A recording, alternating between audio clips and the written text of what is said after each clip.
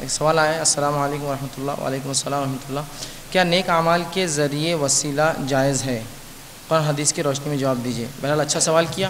وہ کیا اعمال ہے جن کے ذریعے ہم وسیلہ لے سکتے ہیں؟ بہرحال میں اس اس بات کو بولنا، کہنا بھول گیا بیچ میں۔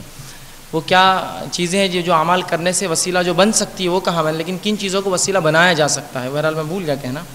تو یاد رکھیے، آپ اپنے کسی نیک اعمال کو وسیلہ بنا سکتے ہیں۔ سب سے پہلے وسیلے کے لیے جو چیز آپ استعمال کر سکتے وہ ہے اللہ کی اسماء و صفات۔ ولی اللہ اسما ولی اللہ الاسماء الحسنہ فدع بھی اللہ نے قرآن میں کہا کہ اللہ کے لیے بہترین نام اور صفات ہے ان نام اور صفات سے اللہ کو پکارو۔ تو یہ سب سے پہلا وسیلہ ہے کہ اللہ کے نام اور صفات کے ذریعے۔ اے اللہ تو رزاق ہے، ہمیں رزق عطا فرما۔ اے اللہ تو حی ہے، ہمیں زندگی دے۔ اے اللہ اس طرح سے آپ جو ہے اللہ کے نام اور صفات کا وسیلہ لے سکتے پہلا وسیلہ۔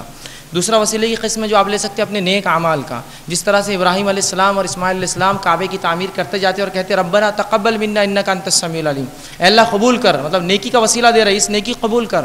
اسی طرح رسول اللہ فرماتے ہیں کہ بنی اسرائیل ہم سے پہلے کی پچھلی قوموں میں جو ہے کچھ لوگ تھے، تین لوگ تھے، جو ایک گفا میں چلے گئے، مشہور روایت جب وہ اس میں چلے گئے تو ایک پتھر آ کر گر گیا۔